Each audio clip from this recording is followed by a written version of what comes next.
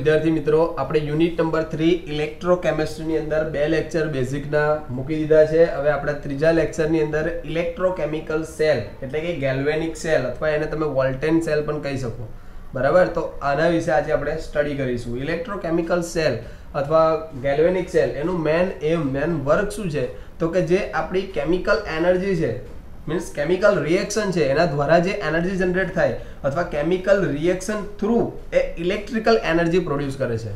Chemical energy through શું કરશે? એ electrical energy produce કરશે અને આપણે કહીશું ઇલેક્ટ્રોકેમિકલ સેલ અધરવાઇઝ એને આપણે કહીશું ગેલ્વેનિક સેલ વોલ્ટેન સેલ જે તમે કહી શકો છો બરાબર? અથવા એને ગમે તે રીતે તમને પૂછાઈ શકે. તો ધ્યાન રાખજો, આજે આપણે એ સેલ ચાલુ કરતા પહેલા એક વસ્તુ એ સેલ માટે હું તમને સમજાવી દઈશ, જેથી કરીને તમને ઇલેક્ટ્રોકેમિકલ સેલ એકદમ ઇઝી લાગે. બાકી જો હું ડાયરેક્ટલી તમને સમજાવવાનો ટ્રાય કરીશ કે Z N S four Z N C U S four C U તો થોડું તમને કન્ફ્યુઝન થઈ શકે. ચલો તો પહેલાં પહેલું એક પ્રેક્ટિકલ દ્વારા એક વસ્તુ હું તમને સમજાવું, એ વસ્તુને તમે ખાસ ધ્યાન રાખજો. બરાબર? અને એ વસ્તુ પરથી બધી વસ્તુ આવી જશે. માનો કે સૌ પ્રથમ પહેલામાં પહેલાં આપણે એક બીકરની અંદર સીયુ એસઓ ફોરનું સોલ્યુશન લીધું. કોનું સોલ્યુશન લીધું? C U S O four copper sulphate તો કોપર સલ્ફેટનું તમને ખબર છે? એનો રંગ, એનો કલર કેવો હશે? બ્લુ કલર સોલ્યુશન હશે. કેવું સોલ્યુશન હશે? બ્લુ કલર સોલ્યુશન આ બ્લુ કલર શાના કારણે હશે? સીયુ પ્લસ ટુ અને એસઓ ફોર માઇનસ ટુ પણ આપણે કયા આયનના લીધે હશે? તો સીયુ પ્લસ ટુ આયનના લીધે આપણને આ જે બીકર છે, એની અંદર જેનું સોલ્યુશન છે સોલ્યુશનનું રંગ આપણને કલર આપણને કેવો દેખાશે? બ્લુ કલર દેખાશે. હવે મેં એની અંદર શું કર્યું? ધીરે ધીરે એક પ્લેટ મૂકી દીધી. કોની પ્લેટ મૂકી દીધી? ઝેડએનની તો અંદર મેં એક ઝેડએન પ્લેટ મૂકી દીધી. તો આના જે ત્રણ ચાર ઓબ્ઝર્વેશન છે, આ ઓબ્ઝર્વેશન એ આપણને ઇલેક્ટ્રોકેમિકલ સેલ સ્ટડી કરવામાં બહુ જ હેલ્પફુલ થશે. સમજો, એટલે તમારે કોઈ વસ્તુ રટ્ટા લગાની ગોખવાની જરૂર નહીં પડે. ચલો C U S O four blue colour solutions છે. એની અંદર મેં એક ઝેડએન પ્લેટ ડીપ કરી એટલે મૂકી દીધી, અંદર ડુબાડી દીધી. તો થયું શું સમજો? કે ઝેડએન પ્લેટ જે છે, એ પ્લેટ થોડા સમય પછી આપણે જોયું, તો આપણને કેવું કન્વર્ટ થયા પછી જોવા મળ્યું? તો સીયુએસઓ ફોરના સોલ્યુશનમાં જ્યારે મેં ઝીંક પ્લેટ મૂકી હતી, તો મારે ઝીંક પ્લેટ આ રીતે મને જોવા મળી પછી.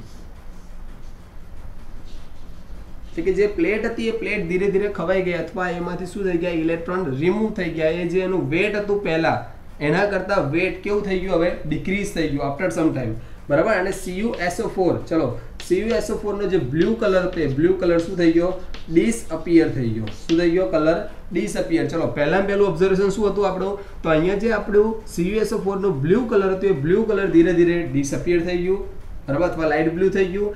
એના પછી જે ઝેડહેન આપણી જે પ્લેટ છે, આ પ્લેટ જે પોઝિશનમાં હતી, જે વેટવાળી પેજ હતી પ્લેટ હતી, એની જગ્યાએ વેટ એનું શું થઈ ગયું? ડિક્રીઝ થઈ ગયું અને પ્લેટ ધીરે ધીરે આપણી ખવાઈ ગઈ. ચલો, ખબર પડે છે? થર્ડ વસ્તુ આપણને શું ખબર પડી? કે આ જે પ્લેટ છે પ્લેટની આજુબાજુ આપણને બ્રાઉન કલરના પીપીડી જોવા મળ્યા. શું જોવા મળ્યા? બ્રાઉન કલરના પીપીટીઝ જોવા મળ્યા. ચલો સમજણ પડે છે. એન્ડ ફોર્થ ઓબ્ઝર્વેશન આપણું શું હતું? તો અહીંયા આપણે આ સોલ્યુશનની અંદર હાથ આપણે મૂકીશું. તો શું થશે? આપણને જે આપણને ઓબ્ઝર્વેશન જોવા મળશે, એના કરતાં કંઈક અલગ ઓબ્ઝર્વેશન આની અંદર જોવા મળશે. શું ઓબ્ઝર્વેશન જોવા મળશે થોડા ટાઈમ પછી? તો આ જે આપણું સોલ્યુશન્સ હતું, એ આપણને થોડું ઠંડુ લાગશે, થોડું કોલ્ડ લાગશે. જે હતું એનું એ લાગશે. પરંતુ જ્યારે આપણે આની અંદર હાથ નાખીશું, ત્યારે આપણને થોડું એ ગરમ લાગશે. કેવું લાગશે? થોડું ગરમ. તો કેમ આવું થયું? તો કે આ રિએક્શન કેમિકલ રિએક્શન થ્રુ થોડી એનર્જી થોડી હીટ પ્રોડ્યુસ કરી. ખબર પડે છે બધાને? ફોર્થ ઓબ્ઝર્વેશન આપણને ખબર પડે. હવે હવે ફોર્થ ઓબ્ઝર્વેશન ક્યારે થાય? તો ફર્સ્ટ ઓફ ઓલ ઝેડએનનું આવું કેમ થાય? તો ઝેડએનનું ઓક્સિડેશન થાય. અધરવાઇઝ એ પોતે પોતાના ઇલેક્ટ્રોન રિલીઝ કરી દે. તો આ ખવાઈ જાય અને ઝેડએન પ્લસ ટુમાં કન્વર્ટ થાય. જો, તો ઝેડએનનું શું થયું કે ભાઈ ઇલેક્ટ્રોન રિલીઝ કરે. એને આપણે શું કહીએ છીએ? ઓક્સિડેશન તો ફાઇનલી રિએક્શન શું થાય તો કે Z N gives Z N plus two plus two electron અને આવું થવાના કારણે ઝેડએનની પ્લેટ આમાંથી આવી રીતે કન્વર્ટ થઈ ગઈ અને એનું વેટ કેવું થઈ ગયું? ઘટી ગયું ડિક્રીઝ થઈ ગયું. ચલો ડન તો ઝેડનનું શું થયું આની અંદર? ઓક્સિડેશન થયું. એટલે ફાઇનલી ઝેડન અને સીયુ બંને ભેગા થયા. ત્યારે આપણને ખબર પડી કે ઝેડએન શું થાય છે? અહીંયા ઓક્સિડેશન થાય છે. શું થાય છે? ઓક્સિડેશન ચલો સમજો. હવે અહીંયા જ્યારે સીયુએસઓ ફોરની અંદર સીયુ પ્લસ ટુ આયનના કારણે બ્લુ કલર હતો બટ હવે બ્લુ કલર ડિસઅપિયર થઈ ગયો. એનો મતલબ સીયુ પ્લસ ટુ આયન શું થઈ ગયા? ડિક્રીઝ થઈ ગયા. તો C U plus two ion decrease થયા તો સામા કન્વર્ટ થયા? તો કે જે ઝેડ ઇલેક્ટ્રોન રિલીઝ કર્યા, એ ઇલેક્ટ્રોન એને ગેઇન કર્યા. અને સીયુ પ્લસ ટુ નું શું થશે અહીંયા? C U plus two plus two electron give C U એટલે આ આપણે કેથોડ પર રિએક્શન જેને આપણે સોરી જેને આપણે કઈ રિએક્શન કહીશું? રિડક્શન રિએક્શન કહીશું જો અહીંયા મેટલ આયન ઇલેક્ટ્રોન ગેઇન કરીને મેટલમાં કન્વર્ટ થાય C U plus two ion બે ઇલેક્ટ્રોન ગેઇન કરે, તો એને આપણે કઈ રિએક્શન કહીશું અહીંયા? રિડક્શન રિએક્શન કહીશું તો ફાઇનલી આમાં આપણને ખબર શું પડી? ઝેડનું ઓક્સિડેશન થાય છે સીયુનું રિડક્શન થાય છે. અને ત્રીજી એક વસ્તુ આપણને ખબર પડી કે આ રિએક્શન દરમિયાન, આ રિએક્શન થ્રુ આપણને હીટિંગ એનર્જી મળે છે. શું મળે છે? હીટિંગ એનર્જી ચલો, સમજી ગયા બધા? આ વસ્તુ પ્રેક્ટિકલી એટલા માટે મેં તમને સમજાવી કે હવે ઇલેક્ટ્રોકેમિકલ સેલ સ્ટડી કરવો બહુ સહેલો રહેશે. ચલો, ફરી એકવાર રિવિઝન કરી લઈએ આપણે કે C U S O four blue colour હતો ઝેડ એન પ્લેટ હતી જે કન્ડિશનમાં હતી જે વેટવાળી હતી એ જ કન્ડિશનમાં હતી આફ્ટર સમ ટાઈમ જ્યારે આપણે એની અંદર ડીપ કરી, તો આપણને શું જોવા મળ્યું? સીયુએસઓ ફોરનો બ્લુ કલર ડિસઅપિયર થઈ ગયો. Means C U plus two આયનના કારણે જે બ્લુ કલર હતો એ C U plus two ion decrease થઈ ગયા અને સીયુમાં કન્વર્ટ થઈ ગયો. મીન્સ એને ઇલેક્ટ્રોન ગેઇન કર્યા. ગેઇન કરે તો જ આવું થાય. એટલે સીયુનું અહીંયા શું થયું? આપણે રિડક્શન થયું. અને ઝેડએનની પ્લેટ જ્યારે ઘટી ગઈ ડિક્રીઝ થઈ ગયું વેટ ત્યારે ઝેડએન ઇલેક્ટ્રોન રિમૂવ કરી દીધા. મીન્સ ઝેડએનનું શું થયું અહીંયા? ઓક્સિડેશન થયું. થર્ડ પોઈન્ટ આપણને શું ખબર પડી? કે આ રિએક્શન થ્રુ એમાં હીટિંગ એનર્જી પ્રોડ્યુસ થાય છે. તો ચલો, આ જ કોન્સેપ્ટ પરથી આપણે મીન્સ તમને ફાઇનલી ખબર પડી કે સીયુ અને ઝેડએનમાં સીયુનું રિડક્શન થયું અને ઝેડએનનું ઓક્સિડેશન આ જ કોન્સેપ્ટથી આપણે ઇલેક્ટ્રોકેમિકલ સેલ સ્ટડી કરીએ. ચલો. હવે અહીંયા શું કરીશું આપણે? જુઓ. તો સૌપ્રથમ પહેલાં કોઈ એક બીકર લઈ લઈએ આપણે. ફર્સ્ટ ઓફ ઓલ એક બીકર લઈ લીધું આપણે. જે બીકરની અંદર ઝેડએન એસો ફોર સોલ્યુશન ભર્યું. કયું સોલ્યુશન મૂક્યું આપણે? ઝેડએન એસો ફોર અને એની અંદર એક ઝેડએન પ્લેટ મૂકી દીધી. ઝિંક પ્લેટ મૂકી. શું મૂકી આપણે? ઝિંક પ્લેટ પછી એ જ રીતે એક બીકર બી લઈ લીધું. ડિફરન્ટ બીકર લીધું આપણે, કે જેની અંદર આપણે ભર્યું સીયુએસઓ ફોર શું ભર્યું આપણે? સીયુએસઓ ફોર અને આની અંદર આપણે એક સીયુની પ્લેટ મૂકી. ચલો, ખબર પડે છે? અહીંયાથી ઝેડએન ઇલેક્ટ્રોન રિલીઝ તો કરશે. ઝેડએન પ્લસ ટુમાં કન્વર્ટ તો થશે ઇલેક્ટ્રોન રિમૂવ તો કરશે બટ ઇલેક્ટ્રોન જશે ક્યાં? તો આ ઇલેક્ટ્રોનને મૂવ કરવા માટે આપણે એક વાયર જોઈન્ટ કરી દીધું. વચ્ચે એક વોલ્ટમીટર મૂકીએ છીએ, અથવા તમે બલ્બ પણ લઈ શકો ખાલી સમજવા માટે. ચલો, તો અહીંયા આપણે ક્યાં સુધી મૂકી દીધું? સીયુ સુધી. આપણે સીયુના પ્લેટ આગળ આ વાયરને આપણે શું કરી દીધો? કનેક્ટ કરી દીધું. તો હવે થશે શું? આ ઝેડએન એસઓ ફોર અથવા ઝેડએન પ્લેટમાંથી, અને જુઓ ધાતુ, આપણી મેટલ સોરી મેટલ જે આપણા ઇલેક્ટ્રોડ છે, બરાબર? અને મેટલ ઇલેક્ટ્રોડ હોય તો આપણે એને કેવા ઇલેક્ટ્રોડ કહે છે એક્ટિવ ઇલેક્ટ્રોડ તો આ મેટલ ઇલેક્ટ્રોડ પરથી ઝેડન શું કરશે? ઇલેક્ટ્રોન રિલીઝ કરશે. તો આ ઇલેક્ટ્રોન રિલીઝ થશે, ઇલેક્ટ્રોન જશે ક્યાં? આ ધીરે ધીરે ખવાતું જશે, વેટ એનું ડિક્રીઝ થતું જશે. તો આ ઇલેક્ટ્રોન ધીરે ધીરે ક્યાં જશે? આ સાઈડથી આ સાઈડ તરફ જશે. ચલો, ઝેડનનું જે ઓક્સિડેશન થતું હોય. આ પાર્ટ કયો છે? આપણો એનોડ છે. શું છે? એનોડ હંમેશા યાદ રાખવાનું, તમારે એનોડ પર ઓલવેઝ કઈ રિએક્શન થાય? ઓક્સિડેશન રિએક્શન થાય. એના ઉપર કઈ રિએક્શન થશે? ઓક્સિડેશન. અહીંયા સીયુ અહીંયા શું કરશે? ઇલેક્ટ્રોન ગેઇન કરશે. માટે અહીંયા માટે અહીંયા સીયુનું શું થશે અહીંયા? રિડક્શન માટે આને આપણે શું કહીશું? કેથોડ અને અહીંયા સીયુનું શું થશે? અહીંયા આપણે રિડક્શન ચલો સમજો, ખબર પડે છે બધાને? ચલો, એનોડ પર ઓક્સિડેશન થશે ઝેડએનનું, અહીંયા સીયુ નું શું થશે? અહીંયા કેથોડ પ્લેટ પર રિડક્શન થશે. ડન ચલો, અહીંયા ઇલેક્ટ્રોન જે નેગેટિવલી ચાર્જ છે, એ કઈ સાઈડથી કઈ સાઈડ જાય છે? જુઓ તો, એનોડ, કેમ કે ઇલેક્ટ્રોન રિલીઝ કોણ કરે છે? ઝેડએન ઝિંક તો આ ઇલેક્ટ્રોન નેગેટિવલી પાર્ટ અહીંયાથી રિલીઝ થશે અને કઈ બાજુ જશે? સીયુ બાજુ જશે. અહીંથી ઇલેક્ટ્રોન નેગેટિવલી પાર્ટ રિલીઝ થાય છે. અહીંયા નેગેટિવલી પાર્ટ હશે ઇલેક્ટ્રોનનો. માટે એનોડ અહીંયા કેવો હોય છે? નેગેટિવ મેં તમને ત્યાં કીધું હતું લેક્ચરની અંદર કે આ વસ્તુ જ્યારે આ લેસન ઇલેક્ટ્રોકેમિકલ સેલ્સ સ્ટડી કરાવીશ, ત્યારે હું તમને આ વસ્તુ સમજાવીશ. તો અહીંયા નેગેટિવલી એનોડ કેમ હોય છે? આટલા માટે હોય છે.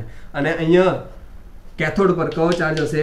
પોઝિટિવલી ચાર્જ હશે. ચલો ખબર પડે છે CU plus two charge clear બધાને? તો ચલો અહીંયા નેગેટિવલી ચાર્જ કેમ આવ્યો? અહીંયા પોઝિટિવલી ચાર્જ આવ્યો. ડન કોઈને કન્ફ્યુઝન ના હોવું જોઈએ. જ્યારે આપણે ઇલેક્ટ્રોલિસિસ સેલ અથવા ઇલેક્ટ્રોલાઇટિક સેલ આપણે સ્ટડી કરીશું, ત્યારે ખાસ ધ્યાન રાખજો. ત્યારે શું હશે? આપણી જોડે એક જ બીકરની અંદર આપણે બે પ્લેટ એડ કરીશું, એનોડ અને કેથોડ. તો એમાં એનોડ કેવો હશે? પોઝિટિવ કેથોડ કેવો હશે? નેગેટિવ બટ અહીંયા એના કરતાં ઉલટું છે. અને ઉલટું કઈ રીતે છે? એનોડ નેગેટિવ કેથોડ પોઝિટિવ એકદમ સિમ્પલ છે. અહીંયાથી ઇલેક્ટ્રોન રિલીઝ થાય છે માટે આ નેગેટિવ અને આ સાઈડ જાય છે માટે આ પોઝિટિવ ચલો ડન હવે અહીંયા આપણને ખબર કેમ નહીં પડી કે ભાઈ ઇલેક્ટ્રિસિટી પાસ થાય છે? તો આપણે ઇલેક્ટ્રિસિટી પાસ થવા માટે આપણી જોડે શું હોવું જોઈએ? ફ્રી ઇલેક્ટ્રોન હોવા જોઈએ, આ વસ્તુ તમને ખબર છે. બરાબર? તો અહીંયા ઇલેક્ટ્રોન ફ્રી છે, અહીંયા ઇલેક્ટ્રોન રિલીઝ થાય છે.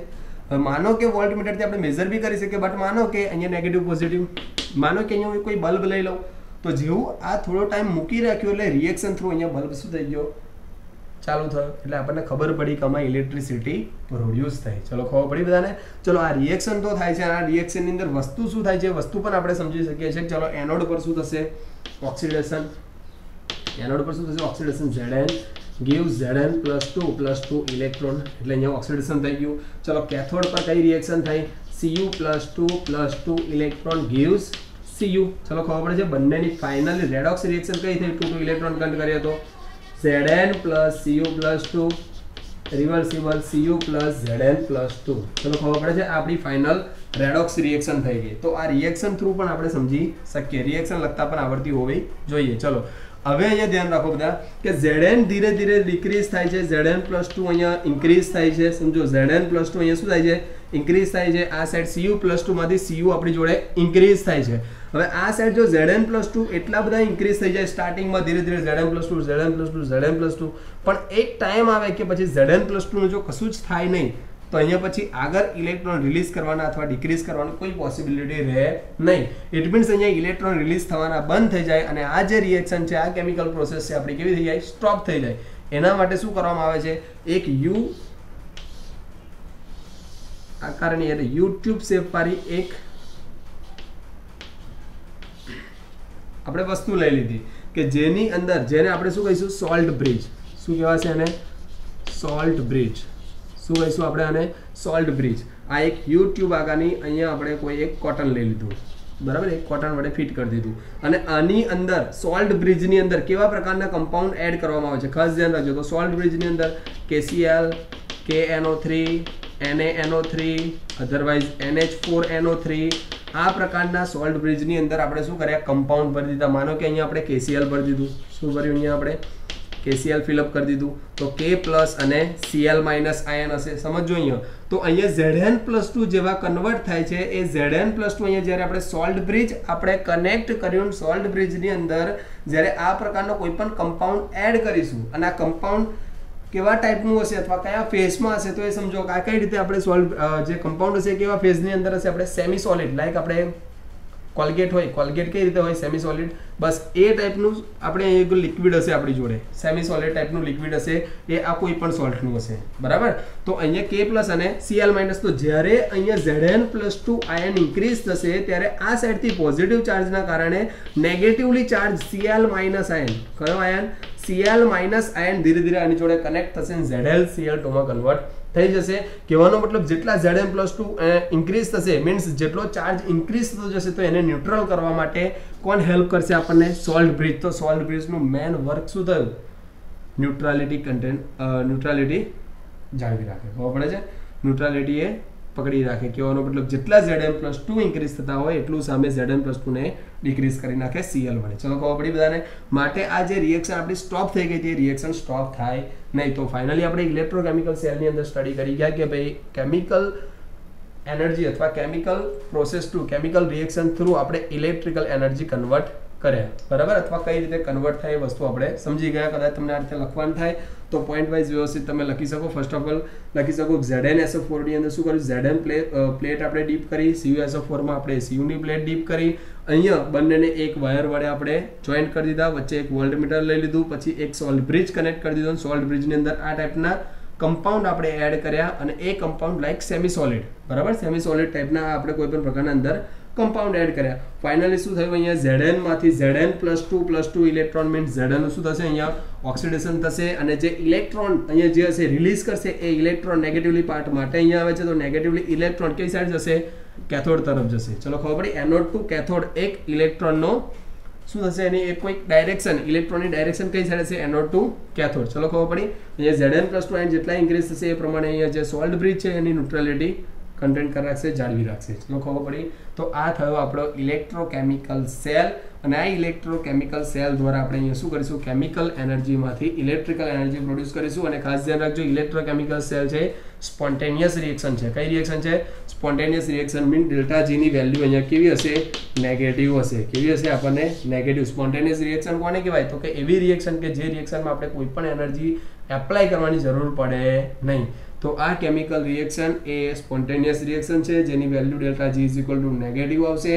અને આ સ્પોન્ટેનિયસ રિએક્શન કન્ટિન્યુ રહેશે અને કન્ટિન્યુ રાખવા માટે મેન વર્ક કોણ કરે છે? અહીંયા સોલ્ટ બ્રિજ તો આ થયું, વિદ્યાર્થી મિત્રો, આપણો ઇલેક્ટ્રોકેમિકલ સેલ અથવા ગેલ્વેનિક સેલ અથવા વોલ્ટેન સેલ આના પછીના નેક્સ્ટ લેક્ચરમાં આપણે ઇલેક્ટ્રોડ જોઈશું. અધરવાઇઝ આપણે સિમ્બોલિક રિપ્રેઝન્ટેશન જોઈશું.